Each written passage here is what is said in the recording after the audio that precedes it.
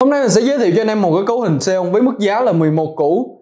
Và 11 củ thì sẽ đem lại cho anh em một cái cấu hình như thế nào, hiệu năng như thế nào, chéo được bao nhiêu tab game giả lập. Vậy thì intro nào.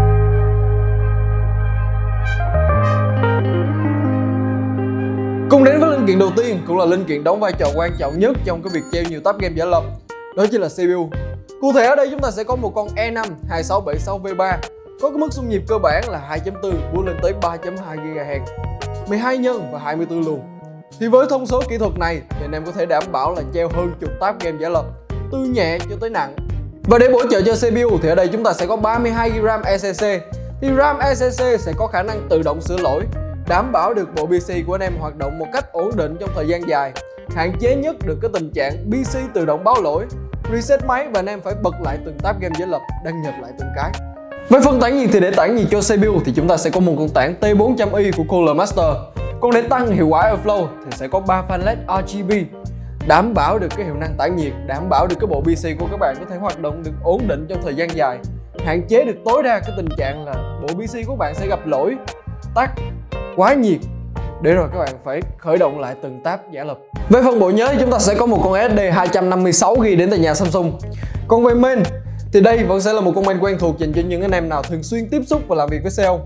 Hunanji X99 F8 con máy này nó có tính năng tự động báo lỗi, nằm ngay cái bóng đèn led ở trên main bên cạnh đó, nó còn có hai fan nằm trên VRM và thường thì những con main dành cho sale sẽ không có cổng xuất hình. Vì thế nên là card đồ họa ở đây sẽ là một linh kiện phải có. Ở đây chúng ta sẽ có một con 1070 Ti với 8GB RAM. Bên cạnh đó thì con card đồ họa này nó còn hỗ trợ cho CPU trong việc chạy những tựa game giải lập từ nhẹ cho tới nặng. Còn về mặt ngoại hình thì ở đây chúng ta sẽ có một vỏ cây của VSB nhưng mà mặt ngoại hình thì sẽ là tùy chọn anh em nhé. Còn để cân hết được cái cấu hình này, chúng ta sẽ chỉ cần một con nguồn 650W. Còn về cấu hình và hiệu năng của nó như thế nào? Bây giờ thì vào phần test hiệu năng nhé. Cùng đến với tựa game đầu tiên đó chính là Võ Lâm Truyền Kỳ 1 Ở đây thì CPU đang ăn 30% Bởi vì tình hình hiện tại đó chính là mình không thể vào được một vài tab, bởi vì tình trạng internet nó không ổn định, nó không đáp ứng đủ để tải 10 tab giả lập cùng một lúc. Vì thế nên với cấu hình này các bạn hoàn toàn có thể chạy hơn 10 tab giả lập. Nhưng điều kiện ở đây đó chính là hãy đảm bảo một cái điều kiện mạng thật là tốt.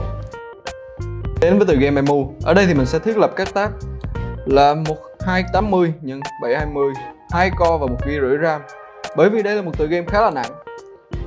Ờ, ở CPU thì đang chạy ở mức trên 80% RAM chạy 26,7 và GPU 40% Hiện tại thì tất cả các tab đều đang rất là mượt.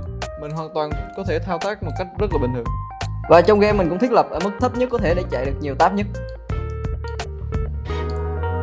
Và bởi vì CPU và RAM nó vẫn còn đang dư ra một khúc Thế nên là các bạn hoàn toàn có thể bật Chrome lên và lướt web YouTube Facebook.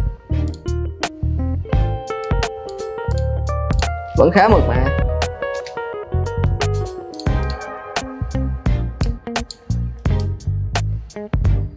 Thậm chí là mình còn bật tiktok lên để mình lướt nữa. À, cha này.